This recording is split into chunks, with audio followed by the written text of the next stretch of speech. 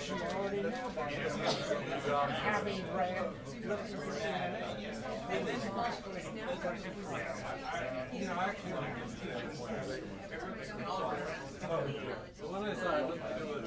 was mispronounced,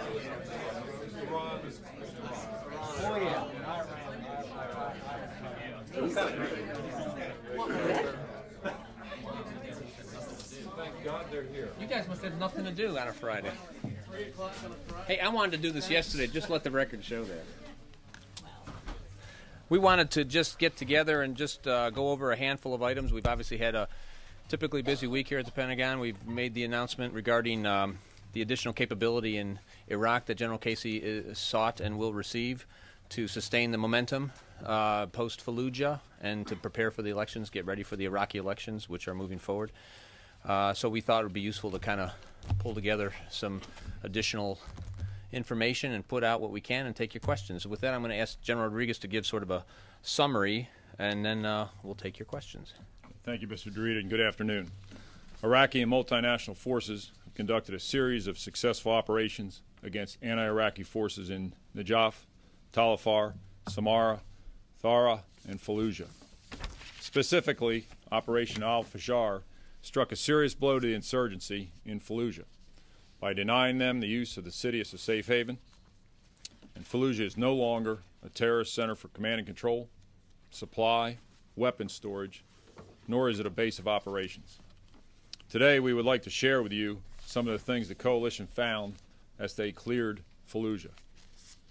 We found evidence of an enemy who fully intended to fight the Iraqi and coalition forces and disrupt the process for a future free Iraq. They were heavily armed and dug in, and by that I mean there was food, water, ammunition, weapons stashed in the buildings they occupied, and they were prepared to fight. The insurgency used several hospitals, cemeteries, and about 25 of the mosques as fighting positions, clearly in violation of international law. Coalition forces also found more than 350 weapons and, and ammunition cache sites, a number of torture sites, improvised explosive device factories, and videos of beheadings. The coalition continues to analyze the vast amount of information that we collected in Fallujah. And here we're going to share with you some of the preliminary photographs that demonstrate what we found there. First slide. To better visualize how the mosques in Fallujah were exploited by the insurgents, note the colored dots on this slide. Out of the 26 mosques that I discussed earlier, the blue dots are mosques from where Iraqi and coalition forces encountered small arms fire and rocket-propelled grenade fire. The yellow represents a location that was determined to be a command and control center. Insurgent snipers engaged our forces from mosques identified by the red dots, and you can see the number and the spread throughout the width and breadth of the city. Next slide. Improvised explosive device materials were also found inside the mosque to include a reel of detonation cord that was hidden inside a bag of rice that was disguised, of course, as humanitarian aid. Next slide. This slide depicts the city of Fallujah with red dots that indicate where Iraqi and multinational forces found IED making factories, and the green dot marks the location of the vehicle borne improvised explosive devices. Next slide. On the right side, a box containing an improved thermal battery for a surface to air shoulder fired missile, as well as two additional handheld radios. And on the left, you can see several different types of radios used as the remote triggering devices for IEDs. Next slide. The red dots on this slide depict the atrocities discovered across Fallujah, and again, across the entire depth and breadth of the city. The combined forces found eight hostage locations and other atrocity sites. Such atrocities include human corpses rigged as IEDs, hostages found chained to a wall, and a mutilated body, as well as executed Iraqi. Next slide. And here, although it's hard to see, you can see blood stains in the upper left and the sandbags they used to try to soak up the blood in one of the uh, hostage sites. Next slide. This slide depicts the locations of the weapons and ammunition caches. Basically, the description was there were one of these every three city blocks. And you can see the number there on the slide. Next slide. Obviously, they're allowed to keep a, a weapon, a personal weapon. All right, it's above house. and beyond that, ma'am, but Anything beyond one. yes, groups of them that were, you know, beyond the self-protection. This slide, here's an example of weapon, weapons caches in central Fallujah, in which you can see a pile of mortars and rockets. And this is just an example. Like I said, there some of them are smaller, some of them are larger, but this is the type of uh, cache we're describing here. Next slide. This location was a chemical lab, which is obviously in the southern part of the city there. Some of the chemicals found at the site included uh, hydrochloric acid, also ammonium nitrate and hydrogen cyanide, which uh, potentially can be used to produce a blood agent. Next slide. Also at the found at the chemical lab was a Mujahideen chemical and biological book outlining instructions and formulas for anthrax, chemical blood agents, and other explosive materials. Now that we have driven the insurgents from Fallujah, we still have more work to do. Iraqi and coalition forces continue to take their fight to the enemy, and with that, we'll take your questions. Charlie. Um, Larry, I'd like to, uh, uh, just two quick things. I'd like you to, uh, to tell us as much as you can, if you will, about, about the Jacoby report. There's been some reports about that. And number two, to raise a, to raise a housekeeping issue. This, uh, you call this a, a get-together. The problem is, we only have these get-together very occasionally, and I'd like to press your demand on behalf of the press corps that you have, start having regular briefings here. You know, for years, they've had two regular briefings here a week on issues from everything from Boeing to, to routine. I'm not talking about just war briefings. And I'd like to get some kind of promise from you that we'll start having regular briefings there. uh, uh, Yeah, we no, can- it- can- it's a fair I enough you- point. You all have said before that, that you'll have a briefing when you have something to tell us. Well, it would seem to me that the, the way it should work is that we should be able to ask you things regularly. and Sure, no, that's a fair point. I mean, it's a we- matter of accountability to the Yeah, public. I, I, I- I would certainly not ex- ascribe to any interpretation that we've been anything other than accountable to the public. I mean, we've put off an enormous amount of information. Uh, we uh, have had God knows how many briefings down here. The secretary himself comes down fairly often, but I, I take the point. I, I take the point, and and uh, and um, we'll we'll we'll be as regular as we need to be. I mean, I, I think during the Fallujah operation, hold on, Charlie, I, you've made your point. I appreciate it. The, um, I think during the Fallujah operations, we had a, a, a, a coalition commander out every single day. I mean, and that's important. And it was they were they were to talk to the Pentagon press. The technology doesn't always make it as good as you'd like it to be, and as we think it can be. But I take the point. We'll we'll be. Uh, You've taken the point before. My point is that there, there, there are issues other than war here. Sure. And while Christmas is a, is a difficult time because traditionally you don't have many briefings, I'd like to, to you to maybe promise us that sometime uh, quickly after the new year starts, we start having regularly scheduled twice a week briefings there.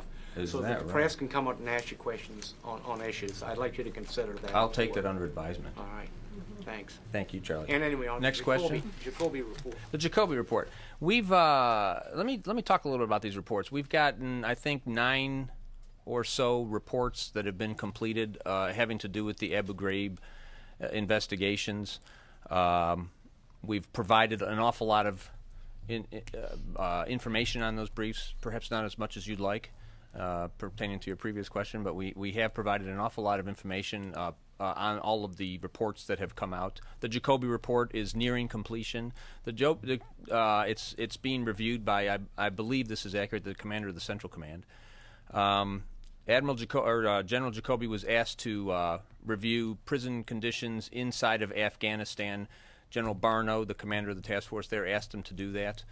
Uh, it uh, it consisted of uh, a kind of snapshot uh, of training of, of conditions inside of prisons. It did not look back to incidents that may have occurred inside of Afghanistan. We will have more to talk about when the report is complete. It has leaked. I would caution, though, against uh, sort of episodic reporting on leaked reports, and I'll give you an example why. Um, we've had another report that allegedly leaked this week that was reported in one of the papers about known as the Harrington report. The Harrington report, by the way, was a, a, a component of the Kern and Fay Jones report. It was an annex to that report. Uh, that Kern Fay Jones report was briefed uh, extensively here, extensively on the Hill. General, in fact, General Kern has done extensive public briefings around the country on it. Uh, the the Harrington report was a component of that uh, investigation. Uh, the reporting on it this week in the Washington Post suggested as though it were some kind of a new and un- previously undisclosed report, when in fact it's an, it's part of it's certainly part of what we provided to the Congress. Uh, we provided all of the uh, annexes to the and Fay Jones report. In, of note, in the um, um, Harrington report, uh, Colonel Harrington, he's a retired Army colonel, made the specific comment that we neither saw nor learned of any evidence that detainees are being illegal or improperly treated at Abu Ghraib. Now, that's a finding in his report. He found a lot of other things in the report. But the, the story that was sort of episodically attracted to this Harrington report failed to mention that, what I would consider to be fairly key finding in the Harrington report. And the only reason I make that comment is because we have been providing these reports when they're finished. Indeed, we provided the Harrington report as part of the Kern and Fay Jones. We didn't release every annex. I, am told we didn't release every annex, but we provided all that to the Congress uh, two months ago or something.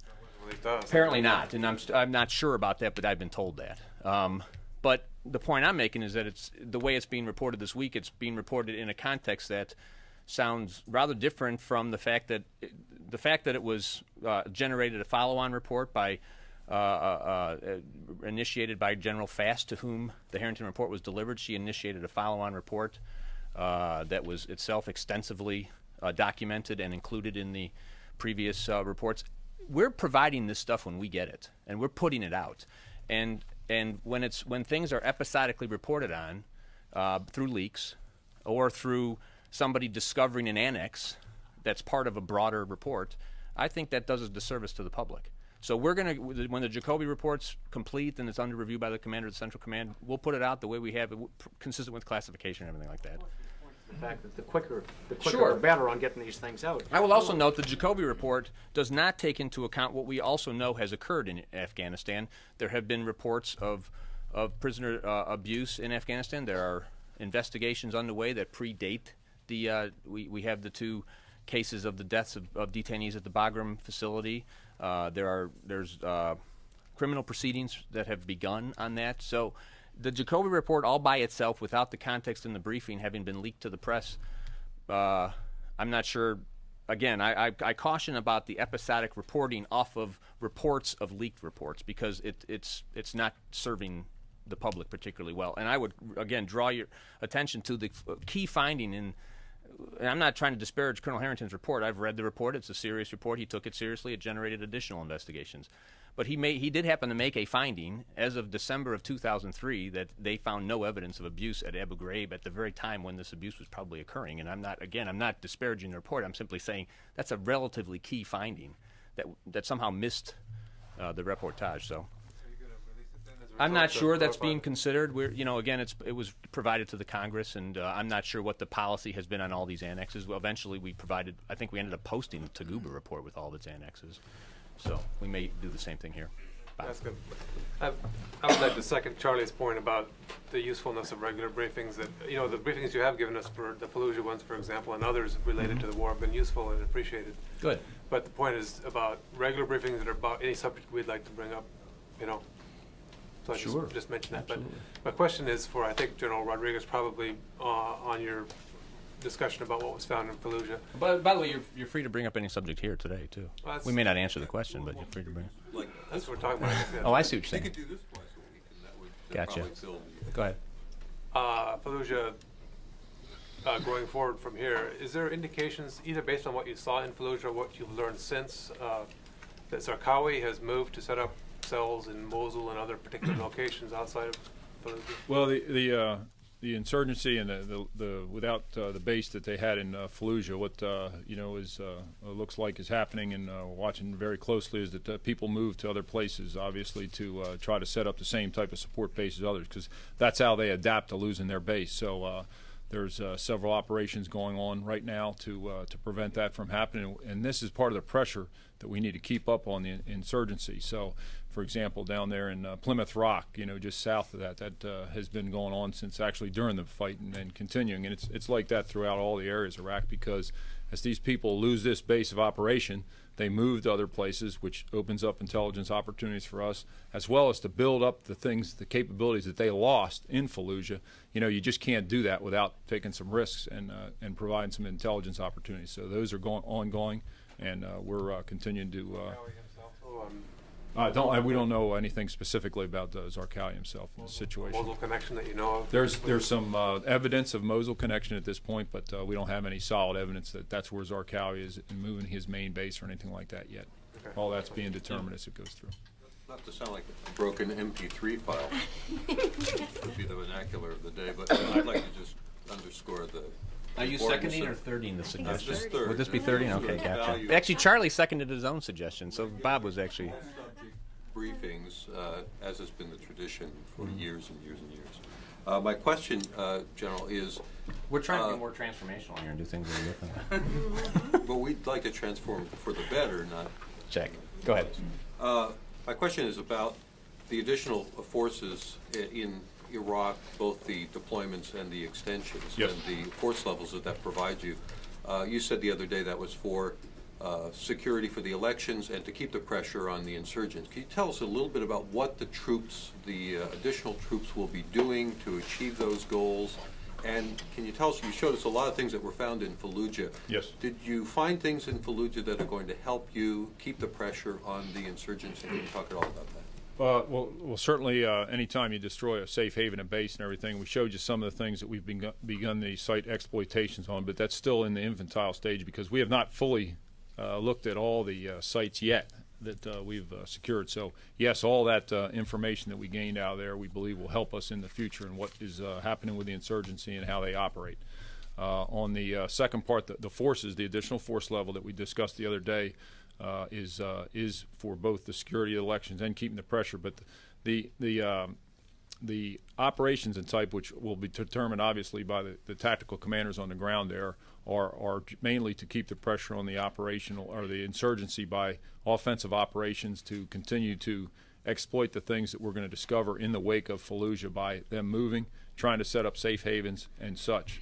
And that's the type of operations. And really, that's all I'm going to get into specifics at this point because that's really a decision that's made on the ground over there. I mean, is the idea to keep the insurgents essentially on the run so that It is, is to keep them on a run, the pressure, and prevent them from putting safe havens up in other places. So both the movement that they are doing and have to do, and the building up of safe havens and the support structure that they lost in Fallujah, to keep the pressure on that.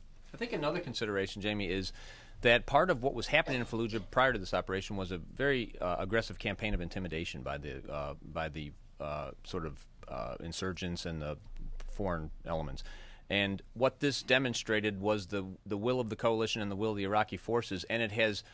A, a campaign of intimidation is essentially a campaign of wills, and, and what has what commanders have reported is additional, as better and, and more refined intelligence coming forward because people feel less intimidated. In other words, they now have a better feel inside of Fallujah that this small number that was holding them hostage has been dealt with, and so they they're more willing to come forward. Now that hasn't led to any great findings, but it, it does over time. That's how you get more uh, better. could I just follow that? Are you seeing a change in tactics, uh, a shift toward, uh, as you get closer to the elections, more attempt to intimidate, particularly the Iraqi security forces, such as today's Well, it's been going on for a while. I mean, the int- intimidation of the Iraqi security forces is clearly one of the uh, tactics that the other side is using, and, and we've seen that. Is that one of the reasons you had to send more U.S. troops? That the I, I wouldn't tie it to one single thing. I mean, what, what, what General Casey wanted was what he described, which was the, what General Rodriguez described was the ability to sustain offensive operations where necessary and to provide a better security environment uh, with with troops that have been through an awful lot. And given that the rotation has been spread out the way it has, some of the troops that have got the best experience would, would be leaving, and he thought that was better not to do that. So I wouldn't tie it to any specific camp, uh, tactic by the enemy, but one of the principal objectives was, was to go after the intimidation campaign and to show the people of Fallujah who um, largely did not want to be living under the circumstances they were living that it's okay to come forward. General, the New York Times reported today that there were cell phones found, lists of foreign fighters' families to be paid, uh, specific intelligence. Uh, is that leading to other operations to take these cells down? All that right now is being analyzed right now and uh, will be used as, uh, best we possibly can to take those cells down. And uh, anytime you find uh, uh, things like that and do the analysis, it takes a little while to do that. But all that is being done. And like I said, we have done many site exploitations already. We still have more to do in that area. But yes, there's uh, phone books, there's lists, there's all those things were found as part of the as part of the operation characterize the, the quality of the intelligence you've seen so far, even though you're not done sifting through everything? I mean, No, I, I can't, but the bottom line is we, we believe it will help us in the, in the future, in, the- in the near future here. Uh, Larry, has uh, Secretary Rumsfeld talked to the president yet about what, uh, about his future, whether he's going to stay, whether he's going to go? You know, Jim, I just have nothing for you on that. And, and what he has said is what's going to have to do, which is when he's got when he's ready to talk about it, he'll talk about it. It's just it's just not something I'm going to be able to provide any insight into. After all this time, Does it? for there to be no, no indication at all whether he's, he's still going to be in office. I just have nothing for you. When he's ready to say something, he'll say something. Talk to him, or, or you just don't want to comment? I'm saying I got nothing for you on it, Charlie. Larry? Yeah. Could you, um, General Rodriguez, des- describe for us the situation in Mosul, what your understanding is of, of what's going on there, and pay particular attention to these bodies that keep getting found? Are they innocent bystanders? Are they Iraqi security forces? Are they maybe insurgents who've been killed and are just getting discovered? What's Uh, m- Most of that is part of the intimidation campaign. Uh, Most of that has been focused on the Iraqi security forces and the uh, Iraqi uh, people who were trying to run the city.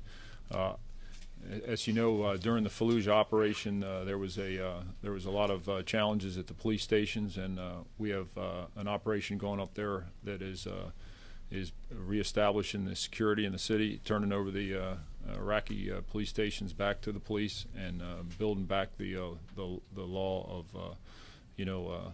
Uh, free countries up, or free uh, cities up there. So that uh, that was part of the result of this Fallujah piece, and you know, so there were some links there, and uh, we're uh, they're working very hard to clean up that uh, situation right How now. How many police stations have been turned back over? Uh, And how many police or security forces were killed? Uh, I don't have the specific uh, numbers of uh, police that are back on the uh, beat or those specific numbers, but we can get you uh, get those. But the majority of those stations were taken back, and uh, and uh, there's uh, calm in the city at this point in time, uh, relatively speaking. Larry, hold on. You're not going to second Charlie, are you? Um, can you tell me um, what was the U.S. military fatality count in Iraq in November? I, I don't think we have the most refined. I mean, what we know is our general is our uh, daily as our updated tally, but I'm not sure by month we've got the data. Right, and of course, uh, you know, it'll take us a couple days uh, after the thing to get the final thing exactly because what happens is everybody wants to make sure they got the right number because some people, of course, uh, leave the theater and en, en route, uh, you know, uh, of course, uh, die en route or up in uh, up in Germany, for example, where they take uh, many of the injuries. So it'll take us a day or two to get that, but uh, w- We're a few days into December already. yes, it, We'll get it out as soon as we've got it. I right, suppose. but we don't have it Yeah. right. On the tanker issue, um, Secretary Wolfowitz signed a memo to SASC on August 11th saying in roughly 30 days they should have these Tier 1, Tier 2, Tier 3 emails sent over and supporting documents for the tanker issue.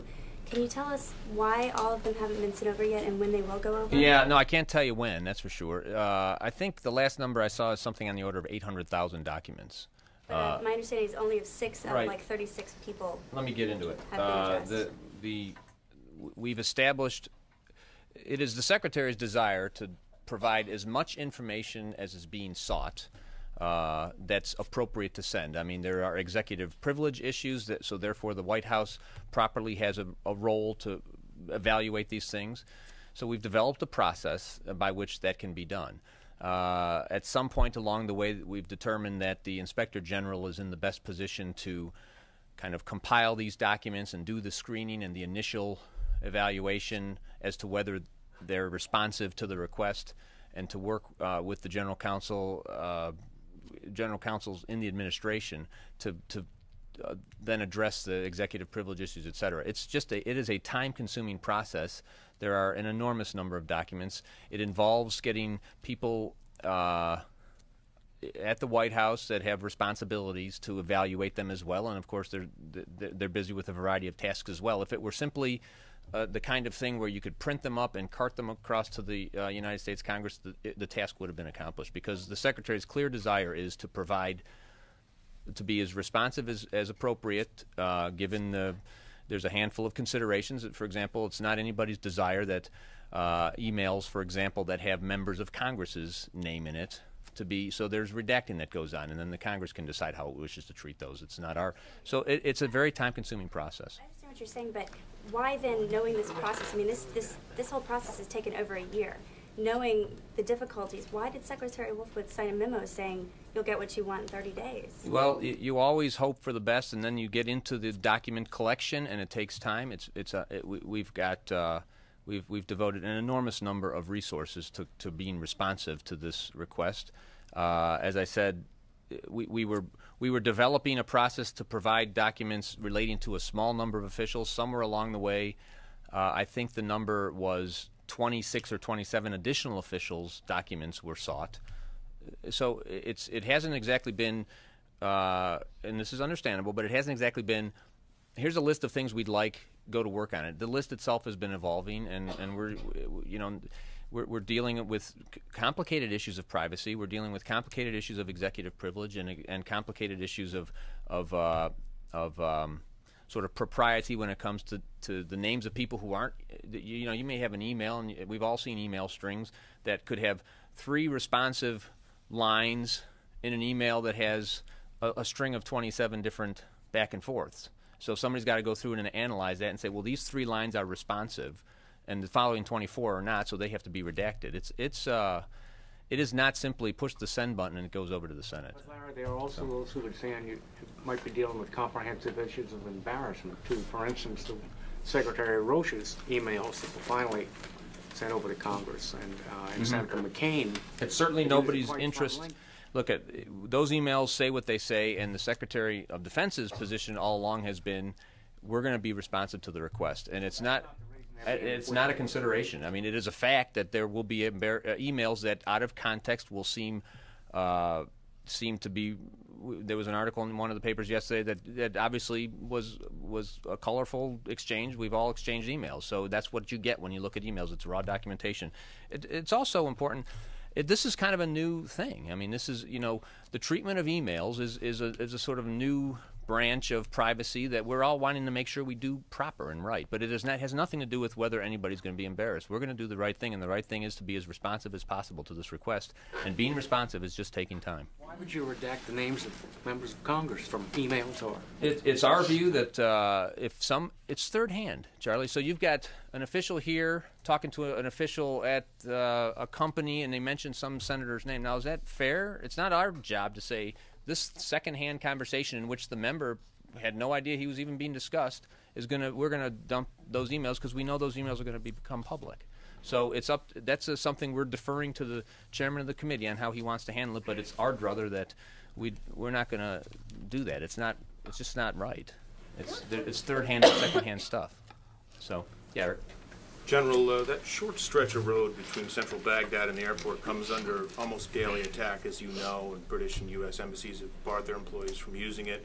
Uh, why can't the U.S. military do a better job of securing that route? Are there any plans, without getting into operational details, for the military to do more to protect that road? 'Cause for many. Iraqis, it's become a symbol of the lack of security. in- in.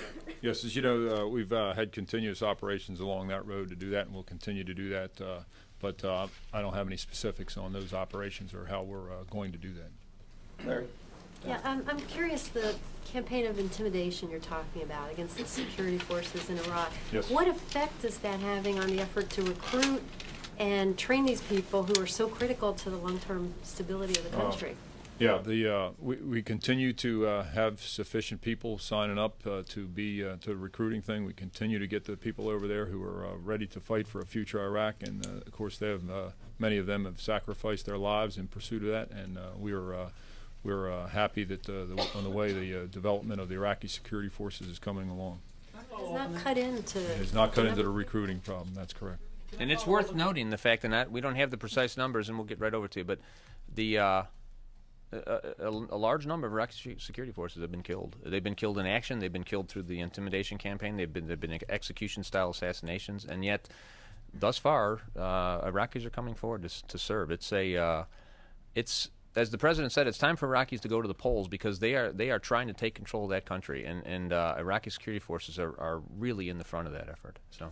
Um, we were told repeatedly during the Fallujah uh, assault that the Iraqi security forces were performing well in tandem with uh, coalition forces, but reports coming from Iraq increasingly seem to suggest that they're not, that they're, they're not up to the job, they can't perform, there's not discipline, there's not leadership.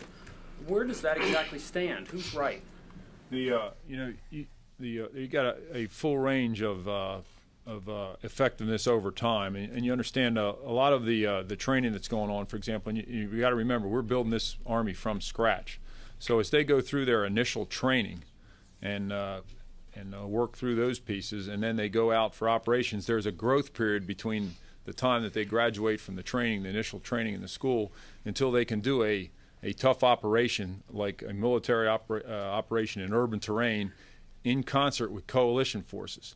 So that higher level coordination and everything is is at the higher range of what we're talking about doing, in which some of the uh, Iraqi uh, units were able to participate in in Fallujah. Back to the ones that have just graduated from the school and are still working those the leadership development, the mentoring that's so critical to them moving from the, the, the training to the uh, the, the uh, level of a uh, proficient unit enough to move forward until they are really a, a unit that can do a tough operation in a uh, urbanized urban uh, terrain in concert with coalition forces. So there is a full range of that out there, and that's part of the reason why it depends on what time and what units you're asking based on where they are in that developmental process. How many are at the more complete end of it than at the beginning? And you know, you say it depends on situation, but where does where, where does the bulk of it lie?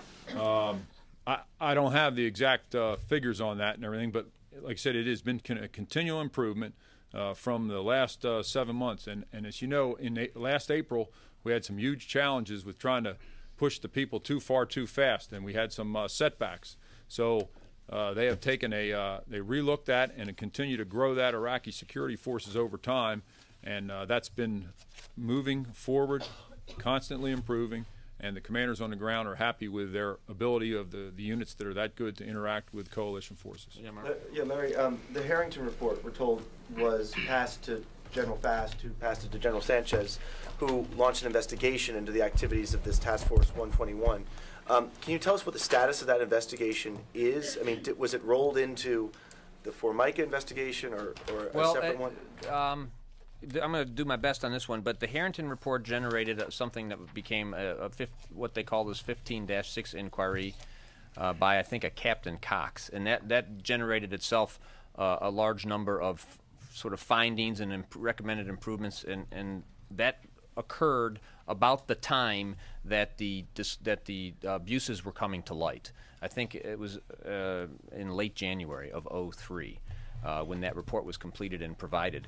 And at that point is when a, a host of other investigations began, and ultimately uh, the General Formica investigation on Special Operations Forces, which will undoubtedly find some of the same things. I mean, we've got Special Operations Forces that are already involved in courts martial based on, uh, and that wasn't, I think, reflected in the Washington Post story. But so I, I'm not sure that I'm able to parse exactly the lineage of the Harrington to Cox to Formica, but I, I know that it all happened almost contemporaneously with the dis- disclosure of the uh, the first public disclosure of what we learned in mid-January, and at that point, a number of investigations began. And I would also say, looking back, there had already been some reviews. General Miller had already gone over and found a lot of the same things to some extent that that Colonel Harrington found. In other words, a prison system that needed uh, attention in terms of resources and, and and their doctrine needed a uh, review and that sort of thing. And a lot of that's obvi- obviously been provided.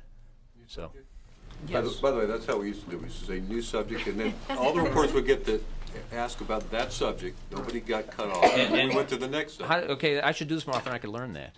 Um, But my subject is, You're getting it. is, uh, that. General Mi- General Myers said yesterday. Yeah, I got me to kick around with That his.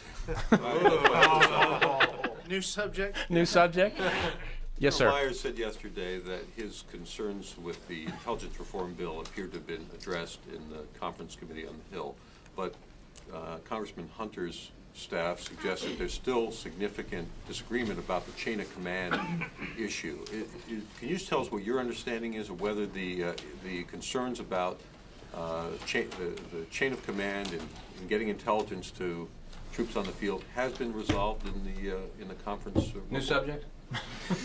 I have absolutely nothing to add what General Myers said yesterday. And, and you know, the, the negotiations on that legislation are, are being uh, intensely uh, engaged by, uh, with the White House and the committees, and, and we're just going to, I just have nothing to add to what, I have nothing to add to what the chairman said yesterday.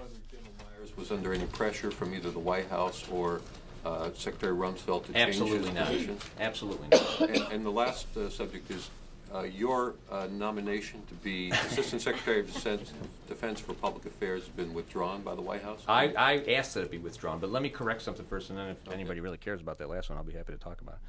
I said C- Captain Cox. I'm just been corrected. Lieutenant Colonel Natalie Lee did the 15-6 investigation. Is that right? I don't know where I got. Co- There's a lot of these uh, reports that I've. Natalie Lee did a investigation as the result of the Harrington report, and I think my timing remains the same. It, it, it came out about the end of January and other things. The findings of that, of that report? Uh, I, I don't know, and I'll see if we can learn. I don't know what became of it, if it just got rolled into Taguba at that point, or I'm not sure what. As I said, a lot of other investigations began around that exact same time, so. And why did you ask for your nomination? It was, it just seemed uh, as though the, the, the 108th Congress was coming to a close. I thought there was a possibility that uh, I- I had been nominated a, uh, a year ago, more than a year ago now. My, the Senate had taken no action on my nomination, and it, it just seemed like a, during a period of transition to be confirmed at that point, were I to be confirmed, uh, when there's a transition going on, just I just thought it would be better to have a clean slate, start over. There's a new Congress coming. There's you know it gives everybody an opportunity to take another look at everything. And so as a result, I'll just continue what I'm doing. Uh, inadequately, but that's all I've got. Thank you, folks. One thing on that airport road. Are you saying there are- is a new operation underway? ongoing operation, just like But is something going to change? Because it's gotten progressively worse. We'll see how that Do you think, do you think the 82nd will help with that, General? You said that the 82nd will be mostly in Baghdad. Do you think they'll help? Yeah. Maybe on eight times a week.